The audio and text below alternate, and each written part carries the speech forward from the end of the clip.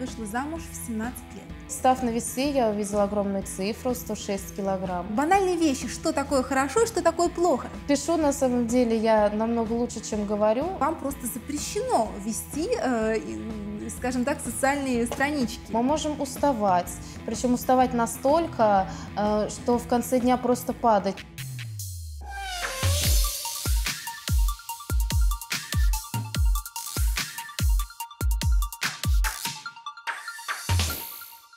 Сегодня у нас в гостях Екатерина Суворикова, жена священника, матушка. Екатерина, здравствуй. Добрый день. Благодарим тебя за встречу. Спасибо большое, что пришла, нашла время. А, ты знаешь, у нас а, в нашей программе а, матушка впервые посетила нас, и для многих это может показаться, ну, мне кажется, даже необычным и странным.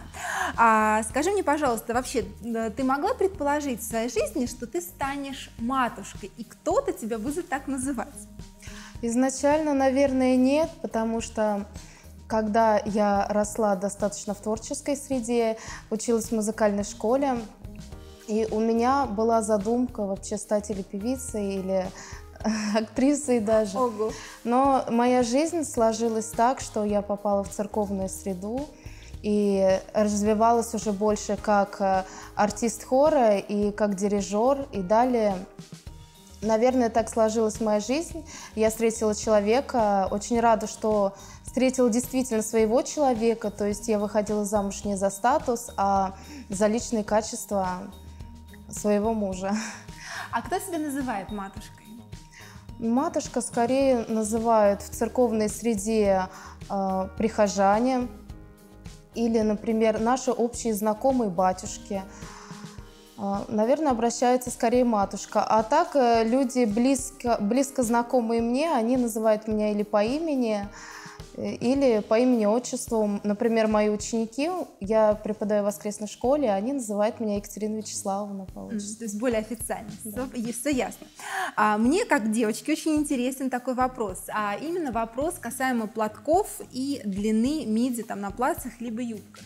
Скажи мне, пожалуйста, это неотъемлемая часть а, твоей одежды, либо же есть какие-то а, послабления, и не обязательно носить платки и а, платья, либо юбки длиной миди? Объясни мне, пожалуйста. Ну, это зависит от среды, в которой мы находимся. Конечно, если мы находимся в церковной среде, и люди смотрят на тебя, существует церковный этикет, который нужно соблюдать, чтобы просто не смущать людей. Нет, а если мы, э, мы а если, отойдем, да, от Если церкви? мы находимся в неофициальной среде, то тут уже, например, мой образ жизни, он сложен из удобства. Например, я большую часть времени провожу с своими детьми. Тут уже более свободная форма одежды, я думаю, она будет уместна, почему бы и нет. То есть ты можешь себе позволить э, даже брюки? Я могу себе позволить вот брюки, да. потому что я последние три года занимаюсь спортом. Э, Каким? И в основном легкой атлетикой я бегаю. Я за эти три года после четвертой беременности достаточно долго восстанавливалась и сбросила 50 килограмм.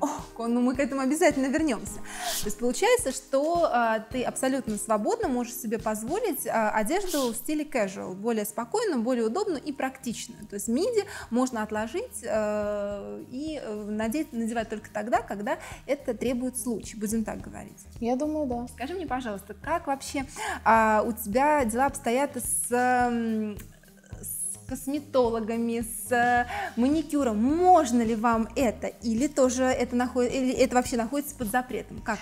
Ну, я думаю, если требует того случая какой-то официальный повод, то это возможно. Тем более, я хочу вам сказать, что моя бабушка ведущий косметолог по профессии, который работает уже более 40 лет косметологом, поэтому наверное, если требует официальный повод, я допускаю макияж, но опять же в нюдовых, в постельных тонах, чтобы Нет, это но было... он имеет место быть. Вот для меня вот это очень важно. Имеет, что... имеет место быть, но согласно твоему статусу, то есть если ты матушка, то выбираем просто более спокойные тона, сдержанные. Нет, я почему задаю вопрос, мне кажется, он многим а, будет интересен, ответ на мой вопрос будет интересен, потому что очень часто а, мы видим в церквях молодых девушек, которые, не могу сказать, э, кем являются, но я понимаю, что они там работают. И они абсолютно э, без макияжа. Поэтому мне было интересно, то есть являясь матушкой, даже нюдовые, но можно, получается. Я думаю, можно, потому что всегда существует цель, которую мы преследуем. Если мы преследуем цель действительно уход за своей кожей, mm-hmm. это очень важно для женщины, потому что много различных кожных заболеваний. И, естественно, нужно следить за собой, нужно следить за состоянием своей кожи. И поэтому даже легкая декоративная, а тем более лечебная косметика, она уместна. А маникюр? Ну, даже если нюдовый, пусть он будет достаточно нейтральный, да или нет? Нейтральный маникюр уместен, но в моем случае есть небольшая оговорка, потому что я по своей профессии ландшафтный дизайнер, и уже два года я занимаюсь обустройством своего сада, поэтому у меня, к сожалению, не всегда получается, потому что я работаю с землей. Скажи мне, пожалуйста, ты обязательно читаешь состав косметики, потому что, ну, тем более ты ландшафтный дизайнер, я думаю, что натуральность для тебя превыше всего. Так ли это и в косметике? Безусловно, натуральный состав – это основная направляющая косметики, на которую мы ориентируемся при покупке. В наш век высоких технологий, наверное, а, неотъемлемой частью нашей жизни стало то, что мы заказываем посылки, заказываем какие-то средства в интернет-магазинах. И мне, например, очень нравится интернет-магазин «Зерна». Там огромная линейка и широкий выбор уходовой и лечебной косметики, направленной именно на поддержание здоровья кожи. И для матушки, я думаю, это уместно, почему бы и нет. Ну, конечно, тем более для такой красивой, яркой, это замечательно. Как раз вернемся к нашей э, православной теме. Скажи мне, пожалуйста, ты росла в православной семье? Я росла в православной семье, но изначально будем так говорить, не совсем даже православной, но ставшей таковою. Если можно поподробнее. Когда мне было пять лет, а, на долю нашей семьи выпало непростое испытание. А, мой папа закончил радиотехнический университет и а, работал талантливым инженером. И в какой-то момент он начал чувствовать боли, сердечные боли. И несколько лет его лечили от сердца, но когда сделали контрольную диагностику, обнаружили у него рак уже в запущенной стадии. И такая интересная история с ним случилась. Он в больничной палате лежал с одним монахом, который тоже проходил лечение. И он ему очень много рассказал о красоте православия, о православных традициях, о православных храмах, о мировоззрении, что такое православная вера. И это потихоньку привело нас в храм. Какая интересная душевная история. Екатерина, я знаю, ты вышла замуж в 17 лет. Так ли это? Да, я вышла действительно как замуж это? в 17 лет. Ну, наверное, исходя из детского такого непростого опыта, мне пришлось очень рано повзрослеть, и 14 лет я закончила музыкальную школу, фортепианное отделение, и чтобы расти, как-то развиваться дальше, я устроилась в 14 лет на работу в Престрождественский собор, а именно в хор, в хоровой коллектив где встретила своего мужа. Какое-то время мы общались. Мой супруг, он несколько старше меня.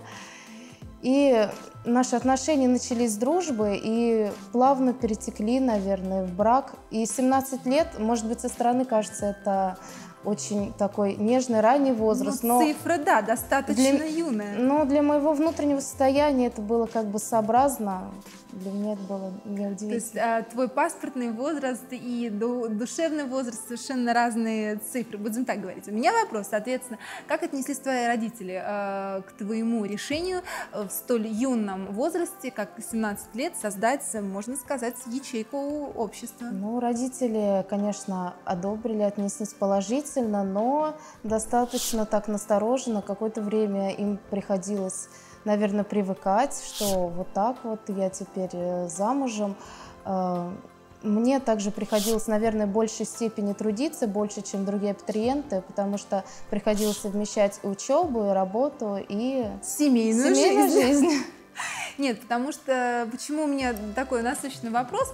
Э, дело в том, что 17 лет это тот возраст, когда хочется веселиться, наслаждаться жизнью. И э, согласись, что вот не зря же говорят, построить семью. Действительно, это труд, как ломать не строить. Поэтому я, у меня, соответственно, вопрос, не хотелось ли тебе в этом возрасте, вот в твои 17, юные 16-17 лет, именно всего лишь получить удовольствие от жизни, а не с головой окунуться в работу, в работу с большой э, буквы. Но тут скорее нужно уже копаться в психике самого человека. У меня, я думаю, психика так устроена, а у меня психика хозяйственника. То есть мне не очень хотелось даже где-то путешествовать, где-то веселиться. Мне хотелось быстрее-быстрее строить что-то свое. Мне хотелось именно свою семью, свой коллектив, свой, своих детей. То есть э, даже в старших классах школы у меня был свой небольшой хор после того, как я окончила музыкальную школу. Тут уже стоит исходить из э, уклада именно соображений индивидуальных самого человека. А, ну, э, судя по твоим словам, я понимаю, что у каждого свой жизненный, свой э, духовный путь. А, наверное, также можно сказать о духовном пути твоего мужа, правда? Да, у него была достаточно непростая жизненная история. Он закончил э, юридический Московский институт экономики, менеджмента и права по специальности юрист. Но как раз в это время, в начале, в начале 2000-х годов, э, случилось такое событие, которое можно отнести к классу того, что мы не хотели, но неотвратимо может с нами случиться, как может случиться с каждым человеком. А, на его глазах э, как бы произошло несчастье, убийство его племянницы, племянника, и это в большей степени повлияло на его психику, и он стал уже задумываться, а что же, может быть, какая-то есть вечная жизнь. И в детстве, наверное, каждого из нас водили в храм, и он, наверное, вспомнил какие-то детские воспоминания, углубился в это, и так постепенно он стал прихожанином храма. Э, твои, слава, твои, конечно, истории, они э, настолько душещипательно, и ты рассказываешь это как вот как я, такое ощущение, что я читаю очень интересную книгу. Это действительно очень, это сложно, очень страшно и очень душераздирающе, будем так говорить. На сегодняшний день, на данный момент, сложно ли быть женой священника? И к чему обязывает, а, не побоюсь этого слова, вот именно данный статус? Я думаю, что достаточно сложно. Потому что, например, я по своей натуре достаточно самостоятельный, свободолюбивый человек, и в какие-то моменты именно жизни приходится жертвовать какими-то своими интересами или ущемлять какую-то свободу именно для того, чтобы сохранить, наверное, самое главное, что для меня сейчас существует, это семья, и сохранить теплую атмосферу, куда хочется возвращаться. Екатерин, я знаю, что у тебя есть, наверное, самый важный статус в твоей жизни, ты многодетная мама. Сколько у тебя детей? Поведай нам. Действительно, я многодетная мама, у меня пятеро детей, причем все дети погодки, у меня две девочки, школьницы и трое детишек дошкольного возраста. Екатерина, как? Э, это же, это же погодки. Как же, расскажи, как тебе было тяжело восстанавливаться, потому что я не буду даже спрашивать, а восстанавливалась ли ты? Насколько тяжело было восстанавливаться? Для меня Достаточно было тяжело восстанавливаться, потому что у меня были, была сложная беременность, были сложные роды. И можно сказать, что я боролась за каждого своего ребенка, потому что я изначально хотела большую семью. И были сложности, были препятствия, но постепенно достигли своих целей. Помимо сложности с беременностью, с восстановлением, а, еще у меня, соответственно, возникает вопрос. Бытует мнение, э, даже психологи утверждают это, не все, но часть, что а, в большой семье не всегда получается уделять внимание каждому ребенку, и всегда кто-то из них обделен. Так ли это в твоей семье? Безусловно, существует такая опасность, к сожалению. Но для этого я думаю, что неотъемлемой частью жизни многодетной семьи должно быть расписание, должен быть режим дня. А по-другому никак, потому что нужно успевать действительно, помимо того, что уделять э, внимание каждому ребенку, и не только внимание, но также вести образовательный процесс, контролировать. И даже создавать традиции внутри своей семьи потому что это формирует детскую психику, и я считаю, что это должно быть обязательно. Ну, абсолютно соглашусь. Традиции в семье, мне кажется, это неотъемлемая часть именно крепкой очень дружной семьи. А, Екатерина, есть ли у тебя какие-то свои любимые методики, либо, может быть, методики, разработанные именно тобой а, для правильного, гармоничного воспитания ребенка? Ну, я считаю, нужно использовать э, множество методик пробовать в воспитании и в образовательном процессе детей. Например, а, две девочки у меня школьницы уже ходят в школу, занимаются по своей программе, а в это время с дошкольниками я применяю и пробуем разные образовательные методики. А, последняя из которых а, мне очень понравилась методика русской классической школы. Именно тем, что она основана на воспитании ребенка. То есть э, дети дошкольного возраста, помимо того, что в наш информационный век мы получаем достаточно знаний, именно визуально мы воспринимаем информацию, а дети должны более ограниченно получать знания, но чтобы они в них отклад... чтобы в их умах откладывалась информация, а для этого нужно закреплять те же самые полученные знания, пройденный урок ручным трудом. А чем она отличается от других? Почему спрашиваю? Потому что, имея первое образование э, педагогическое, в каждой методике есть, э, в принципе, э, есть основы э, той методики, о которой рассказываешь ты. Э, чем плюсы этой методики? И еще вопрос. Своих первых детишек, двух девочек, ты воспитывал по этой же методике или совершенно друг, по другой? Ну, конечно же, я воспитывала не совсем по этой методике. Мы также посещали развивающие учреждения. Мы ходили, например, в школу «Феникс», а, посещали... Я слышала, очень раз... хорошая. Очень хорошая школа, действительно, раз... посещали развивающие занятия. Но сейчас, наверное, все-таки, исходя из быта, из-за недостатка времени, я все-таки более для дошкольников переключилась на семейное образование. И основы, наверное, этой методики, чем она отличается? Эта методика не новая, она основана на, учебниках, э, на учебниках ранней советской школы, на учебниках 50-х, 60-х годов. Например, мы можем увидеть, как писали школьники 60-х годов. То есть это потрясающая каллиграфическая пропись. И как сейчас пишут дети, потому что мы получаем обилие знаний, и они в чем-то не успевают, и не успевают усовершенствовать свои навыки. Когда ты рассказывала все это, у меня сложилась картинка. То есть ты сидишь, вокруг тебя твои замечательные детишки, и вы читаете. Знаете, как, знаешь, вот как в советские времена, как в старину, наверное, даже я так скажу, а это бывает такое? То есть картинка правдивая или это всего лишь мои фантазии? Обязательно. Досуговое чтение, Ой, а именно интересно. чтение а, в свободное время, чтение, которое ребенку интересно, не в плане предметного времени, а в плане именно дополнительного образования должно присутствовать и присутствовать каждый день. Причем я хочу сказать, что у меня еще с детства была мечта о своей небольшой библиотеке, чтобы постепенно э, коллекционировать книги, которые мне нравятся, из художественной литературы, из православной художественной литературы. Таковой очень много. Скажи мне, пожалуйста, что ты читаешь своим деткам? Поделись с нами своими интересами. Те же самые детские сказки, причем, если обратиться к источникам, мы можем увидеть, что посыл многих э, детских сказок, авторских, например, Ганса Кристиана Андерсона, посыл действительно христианский, смысл в этих сказках тоже. То есть вы, извини, я почему уточняю, то есть вы читаете обычные сказки, которые также читаем, э, читают остальные люди. Я почему уточняю? А, у многих, мне, мне так кажется, людей возникает ощущение, что если а, мы сейчас говорим с матушкой, соответственно, есть какая-то определенная литература, которая а, сугубо столько православная, и детям своего рода называют шоры. А, шоры а, э, православных книг, и больше они ничего не читают. То есть ты сейчас, понимаешь, мы рушим стереотипы. Я считаю, что сказать. ребенка не нужно в том числе информационно ограничивать. Если эти знания, они расширяют его кругозор, если это книги, которые выбирает сознательно родителям, почему бы и нет? У нас прекрасные э, русские писатели, литература 19 века.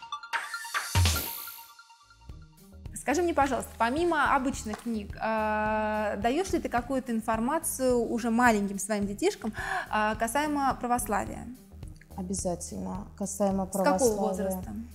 А, наверное, индивидуально. С того возраста, когда я чувствую, что ребенок может это воспринять. А на самом деле некоторые а, аспекты православного воспитания ребенок в раннем возрасте еще не способен переварить Я и поэтому воспринять. Почему и спрашиваю, Именно в тот момент, интересно. когда мама по-матерински чувствует, как, э, что психика ребенка Готова. подготовлена к этому.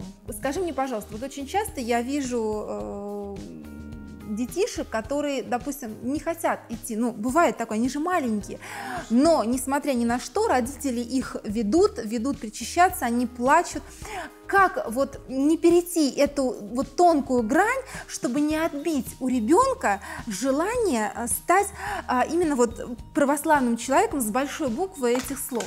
Ну, наверное, насиловать ребенка все-таки это неправильно. Мы должны, если мы приводим а, в храм ребенка, мы должны его готовить, мы должны, как и любой предмет, например, который изучает ребенок, мы должны заинтересовывать.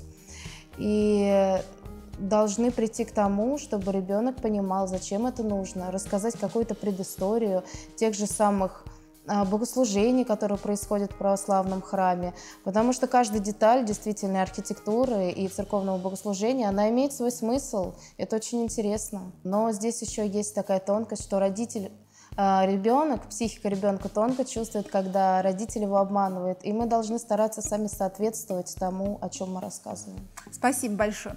А, Екатерина, я заметила, что а, сейчас очень много э, литературы, как православной, так и обычной. Соответственно, вот у меня к тебе очень большой вопрос.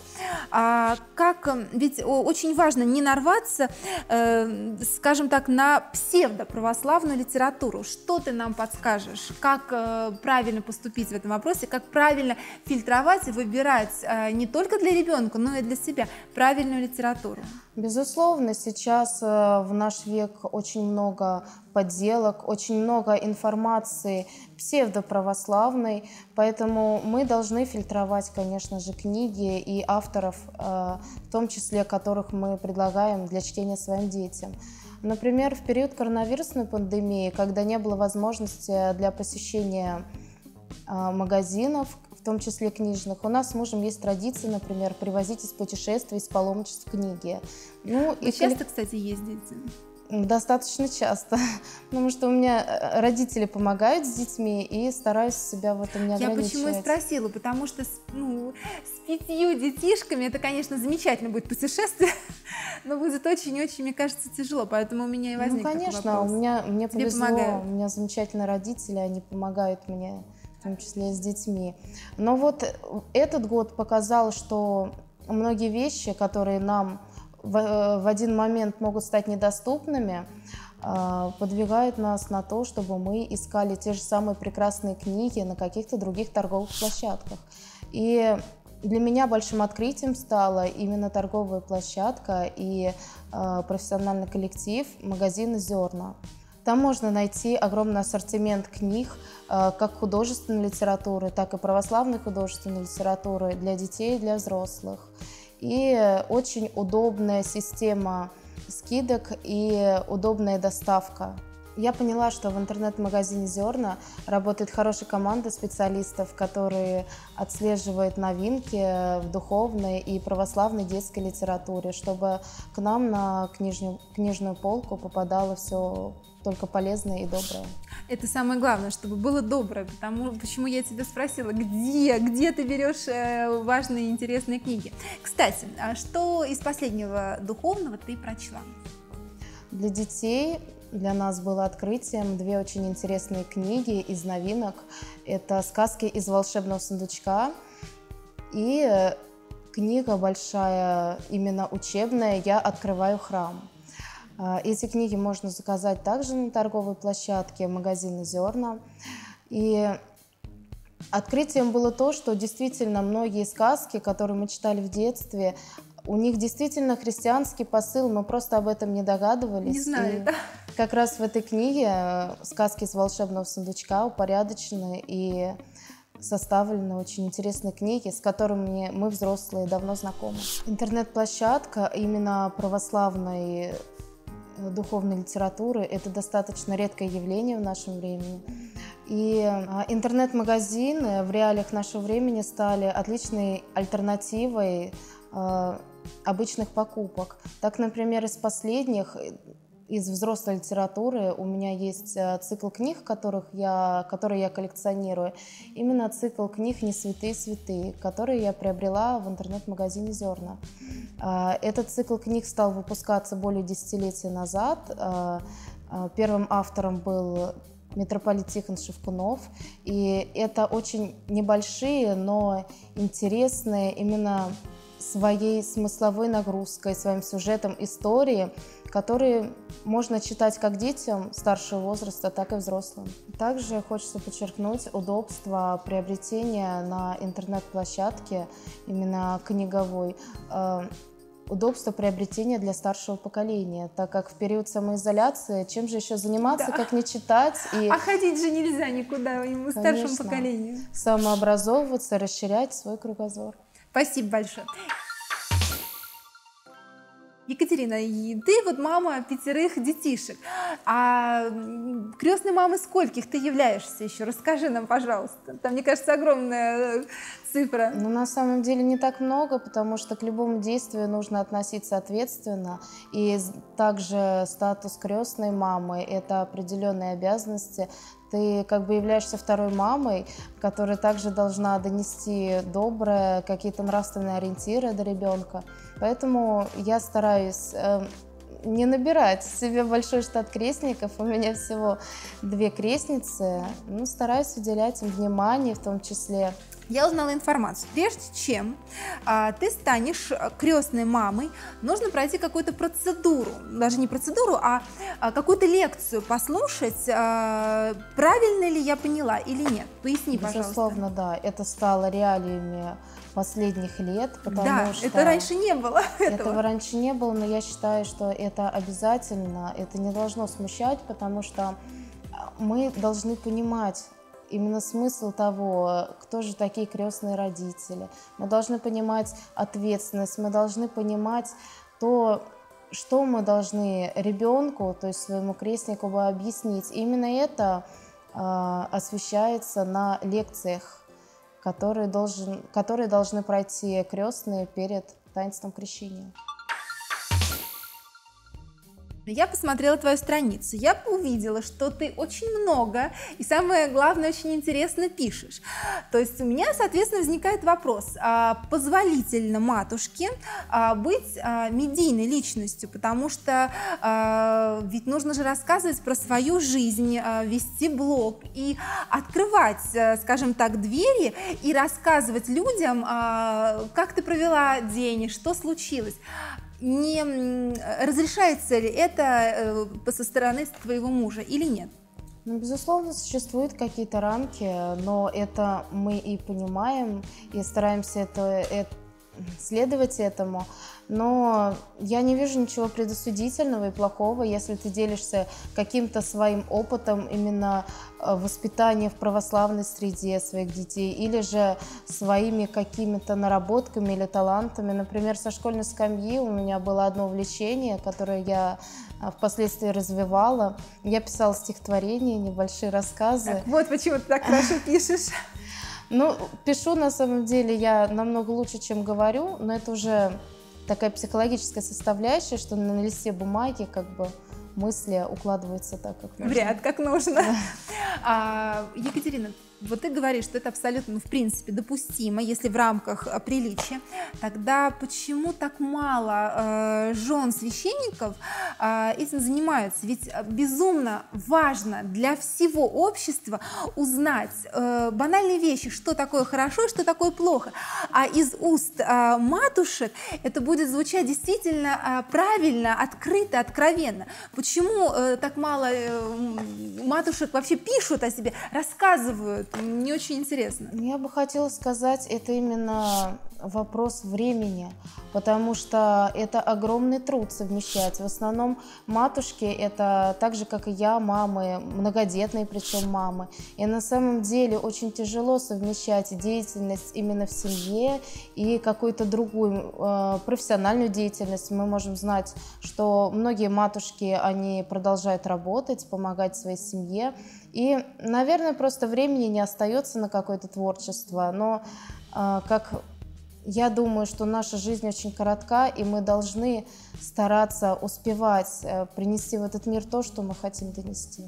Екатерина, золотые слова, мне очень приятно. Я задала этот вопрос с целью понять, а, мы имеем мало информации, то есть, допустим, и тех же мало страниц а, социальных сетей э, у матушек по причине э, нехватки времени или из-за каких-либо стереотипов? Потому что я долгое время была уверена, что вам просто запрещено вести, скажем так, социальные странички, а ты мне просто открыла глаза на все Нет, это. запрета нету, но стереотипы, к сожалению, никуда есть. нам от них не деться, да. они есть. Но если мы несем полезную информацию, добрый посыл, Конечно, в, это в нам, нет. это очень нужно, это, это важно. действительно нужно э, нашим подписчикам, таким же, как и мы, которые нас смотрят. Например, у меня была история, когда э, моя подруга, с которой мы долгое время не общались, находилась в трудной жизненной ситуации. Она разводилась со своим супругом, и мои какие-то посты, которые я писала на тот момент помогли ей выкарабкаться из этой ситуации. И я была очень удивлена, когда через какое-то время она меня поблагодарила. Ну, таких примеров действительно много, и мне кажется, чем больше люди будут писать об этом, тем важнее нам всем. Спасибо большое, что занимаешься, находишь время.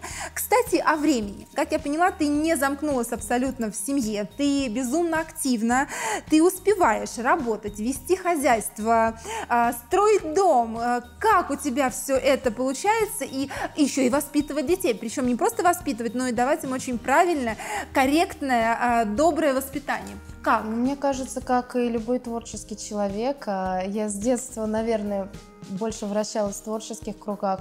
Мне не хочется ограничиваться бытом, потому что если женщина погружена только в быт, то глаза ее угасают, как есть такая поговорка.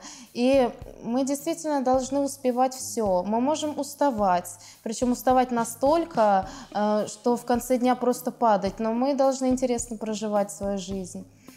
А, например, из моих э, увлечений у нас есть прекрасная э, воскресная школа при Христорождественском соборе Кремля, в которую ходят дети любых возрастов, но преимущественно от 10 до 14 лет, и которым мы стараемся рассказать о архитектуре, о нравственных идеалах, о храме, зачем это нужно.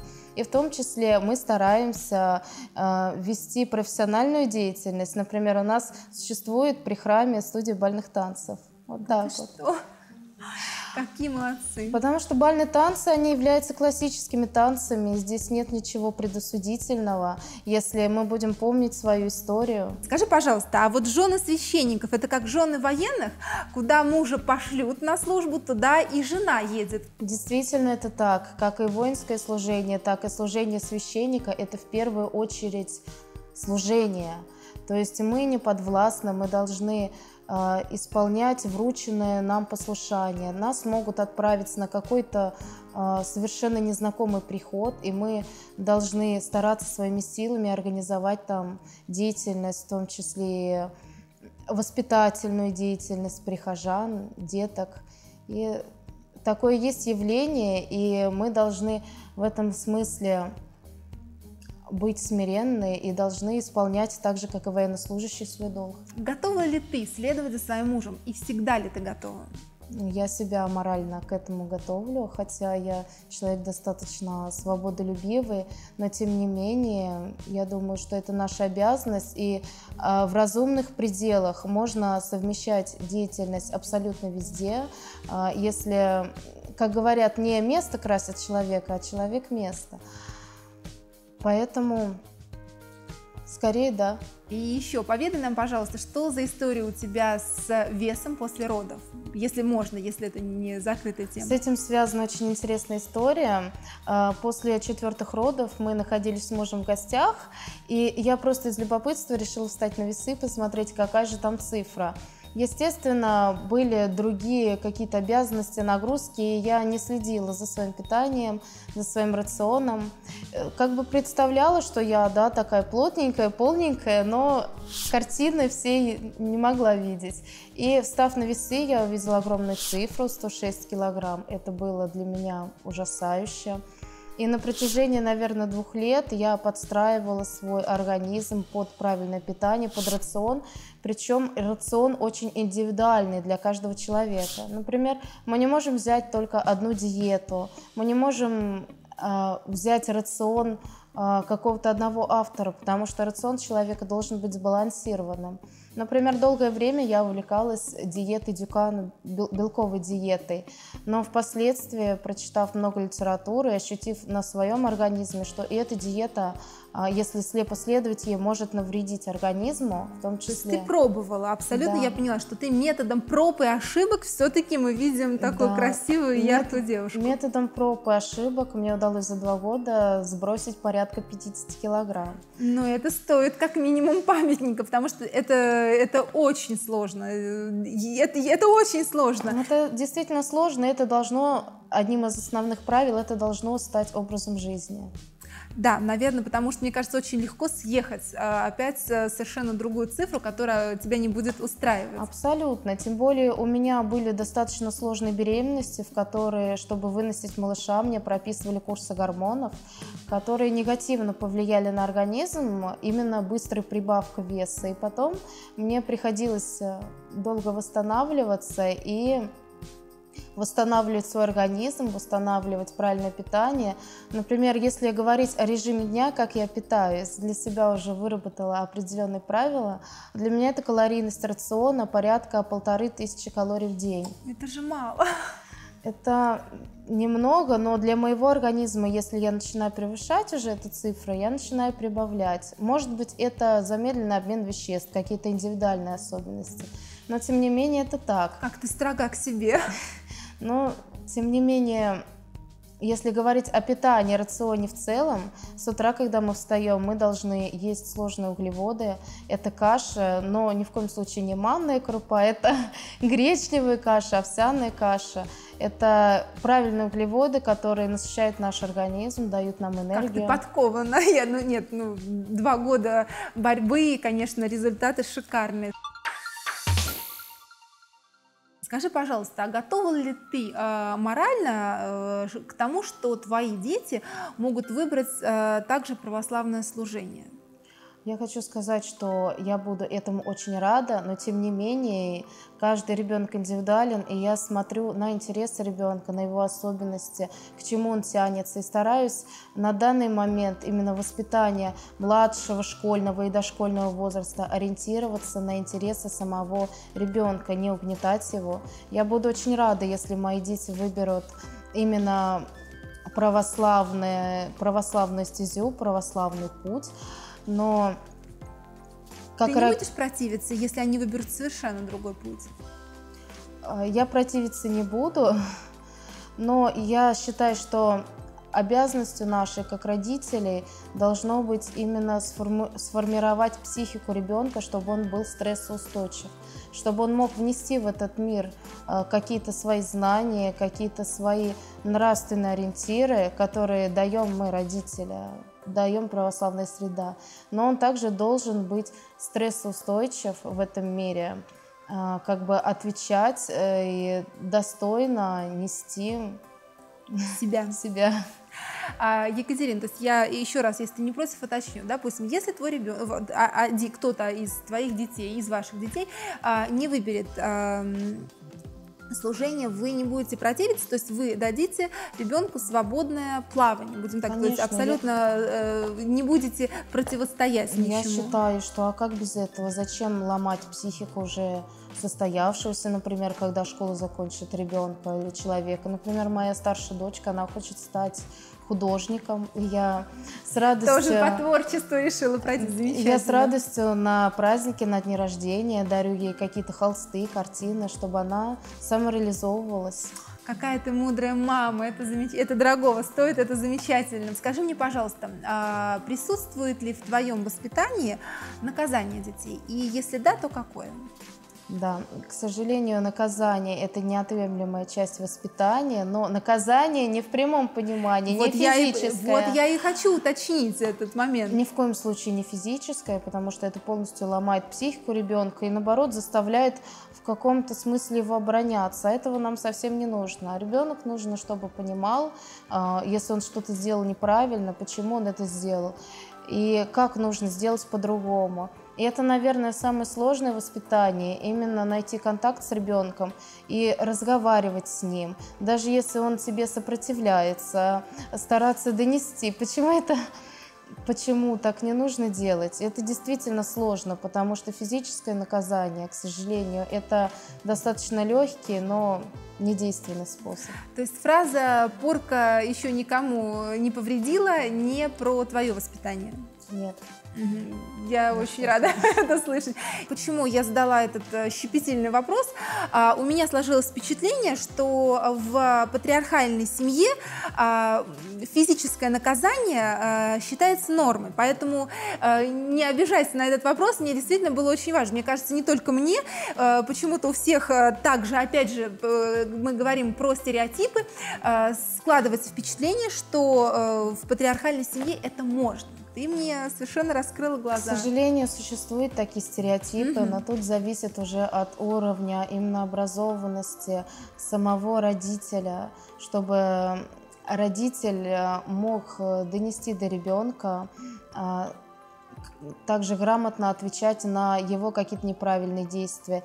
И мне еще предстоит, конечно, пройти очень сложный рубеж переходного возраста буду стараться. Я уверена, с этим, что у тебя получится. С этим справляться. Этот опыт для меня будет э, новый, но пока стараемся справляться с какими-то детскими капризами, именно воспитанием, именно тем, что нужно разговаривать и дружить с ребенком. Ты упомянула, что ты э, любишь ландшафтный дизайн и занимаешься этим с удовольствием, как я поняла. Где? Где ты творишь эту красоту? Но существует э, всей этой огромной истории предыстория. А, когда у нас родился третий ребенок, мы с мужем находились в гостях у наших друзей в Солоче. Можете представить, это был май месяц, очень живописные, именно природные ландшафты. И в какой-то момент мы вышли на улицу, чтобы а, насладиться этим цветением майским. А, и мы были настолько вдохновлены этим, что к тому моменту э, мы планировали копить на автомобиль, который у нас еще не было. Но накопив какую-то сумму, мы просто через какой-то промежуток времени приняли решение купить старенький, но домик. А, потому что было горячее желание именно воспитания детей в традициях православной семьи, э, которая предусматривает и включение детей в трудовой процесс э, будь то построение дома или э, своего усадебного участка. У меня к тому времени был опыт, потому что я училась э, в Рязанском государственном, университете на направлении подготовки биологии, ландшафтный дизайн. Э, и была знакома именно с правилами как должен выглядеть э, сад, как должен быть э, выглядеть участок с особенностями э, растений, совместимостью растений друг с другом. И со временем старенький домик мы продали, и сейчас мы на таком очень интересном этапе строительства своего дома и построения именно своего участка. Сейчас мы занимаемся уже на протяжении трех лет разведением цветов однолетних и многолетних разных. Например, из у меня есть розарий свой небольшой, который с каждым годом Какая разрастается. Красота, я даже боюсь это представить. А, муж красота. также помогает мне. У него есть опыт, э, он жил в сельской местности, у него есть опыт выращивания петуний. На сегодняшний день мы стараемся вырастить около 150 кашпо, разбираемся в различных сортах, будь то гигантские петунии или калибрахо, совершенно маленькие петунии, но это создает неповторимую атмосферу сада.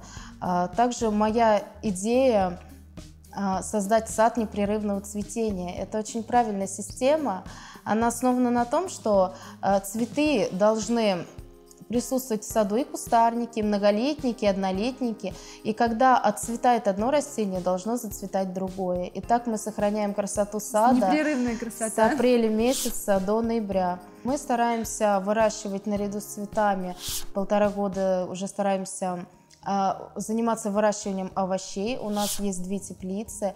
Конечно же, нужно подходить в первую очередь а, с научным каким-то опытом. Нужно понимать, какие сорта, что мы в итоге получим. От... Вы что-то получаете? Да, мы получаем хороший урожай, и причем э, урожай начиная с апреля месяца, с первой зелени, и заканчивая ноябрем. Например, совсем недавно мы поехали доделывать наши дела строительные и увидели, что у нас огромная связка ягод малина висит. И мы были настолько удивлены, потому что, опять же, подходя обдуманно к обустройству сада, мы должны понимать, что лучше, например, выбрать ремонтантный сорт, который цветет и дает плоды несколько раз в году. И это будет урожай в два раза больше, чем если мы... Как много я узнала, ты просто не представляешь. Ко всему делу нужно, наверное, подходить с душой, обдуманно, и мы стараемся этому следовать. У меня вопрос, помогают ли э, твои дети? Я приучаю детей к труду, но не насильно, а через интерес. То есть дети видят, что ты делаешь, и, естественно, детская психика так устроена, что они заинтересовываются. Например, Буквально в этом году старшая дочка, нам, она меня попросила, мам, давай сделаем, отгороди мне свой маленький участочек, я, у меня тоже будет свой сад. А, то есть ни в коем случае не через насилие, не через уговоры, что ты что-то должен, а именно показывая, наверное, личным примером иногда, то есть бывают такие моменты, я сама мама, что ребенок не хочет сделать то, что он должен сделать, то есть то, что мы его, например, допустим, попросили, нет, не потребовали, попросили. А сталкивалась ли ты с такими ситуациями и как ты выходил? Ну, наверное, какой я повторю свою просьбу, но если ребенок не настроен а, со мной на какой-то конструктивный диалог, наверное, на первых порах приходится отступить чтобы не ломать детскую А психику. если это будет продолжаться систематически? Ну, ведь бывают такие ситуации, Бывает, конечно. К сожалению. А, это сложный вопрос.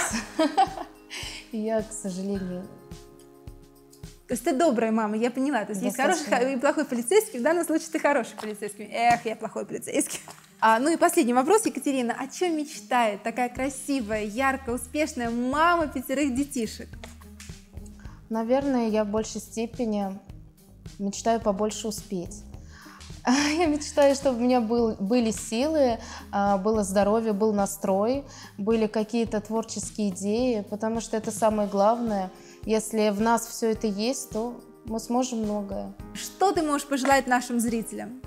Я хочу пожелать нашей аудитории, зрителей, чтобы они не ограничивали свой круг какого-то познания, общения, чтобы они всегда находились в поиске, в том числе поиске каких-то мировоззренческих смыслов, чтобы они не ограничили себя а, стенами дома или только семьей, или только бытом, чтобы они по возможности ходили в храм, ведь там существует очень много интересных традиций, с которыми мы можем познакомиться, не считая уже э, смысловой составляющей, которую мы действительно получаем в церкви. И это дает нам силы и возможности правильно проживать свою жизнь и воспитывать детей в традициях, которые были присущи нам раньше.